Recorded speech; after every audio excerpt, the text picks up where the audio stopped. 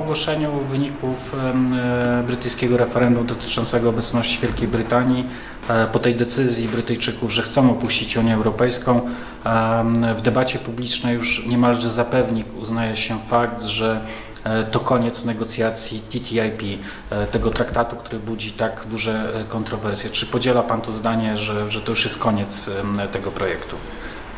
To jest złożona sprawa, oczywiście, jak wiele takich politycznych, międzynarodowych kwestii. Przede wszystkim e, powiedzmy jeszcze raz, że to, że Brytyjczycy zagłosowali przeciwko e, pozostawaniu w Unii Europejskiej nie oznacza jeszcze Brexitu. E, I jedna rzecz to jest to, czy do Brexitu dojdzie, czy nie dojdzie, ale druga rzecz to oczywiście to, jak szybko dojdzie, jeśli miałoby do tego dojść. Zwróćmy uwagę, że agenda rozmów negocjacyjnych w sprawie TTIP może być znacznie krótsza niż e, agenda wyjścia Wielkiej Brytanii z, e, z Unii Europejskiej. Co oznacza, że większość tych rozmów cały czas będzie ważna. Większość tego kontekstu, który obecnie mamy, będzie cały czas ważna. Oczywiście można powiedzieć, że jednym z największych zwolenników TTIP w Unii Europejskiej była Wielka Brytania i to ona forsowała e, obecne negocjacje i z jej osłabionym głosem ze względu na wynik referendum e, te negocjacje nie będą postępowały już w tym kierunku. Natomiast ja zdecydowanie nie jestem tego pewien. E, wahałbym się z takimi zdecydowanymi komentarzami, że to koniec TTIP. Z różnych względów. Właśnie pierwszy wzgląd to taki, że nie wiadomo jak czasowo te agendy się na siebie nałożą.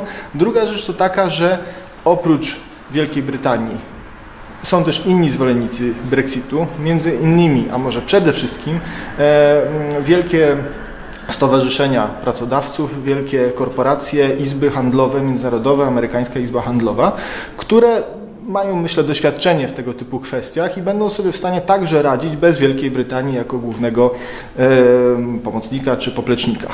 E, także e, na przykład takie względy sprawiają, że cały czas powinniśmy być ostrożni e, i nie uważać, że sprawa TTIP-u jest zamknięta.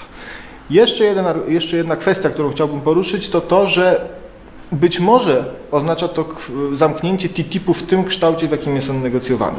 Co wcale nie oznacza, że e, nawet w nowej odsłonie, po wyjściu rzeczywiście Wielkiej Brytanii z Unii Europejskiej, Unia Europejska nie będzie chciała e, budować, pobudzać nowych zachęt gospodarczych właśnie poprzez rozwój współpracy ze Stanami Zjednoczonymi właśnie w oparciu o ten argument, że straciliśmy Wielką Brytanię, musimy odbudowywać naszą pozycję na rynkach międzynarodowych. W związku z tym, moim zdaniem, ta debata z wielu względów, i właśnie takich czasowych, i negocjacyjnych, e, i handlowych, jest cały czas otwarta i jako, jako polskie społeczeństwo, jako społeczeństwo Unii Europejskiej, ale także jako w ogóle globalne społeczeństwo, czyli także społeczeństwo amerykańskie, cały czas powinniśmy mieć na uwadze te wszystkie obawy, które mieliśmy względem TTIP-u, dlatego że wraz z Brexitem czy nawet czy, czy, tym, co teraz, czy zapowiedzią Brexitu, bo przecież tak jak mówię, jeszcze wcale do niego nie doszło, e, cały czas są zasadne.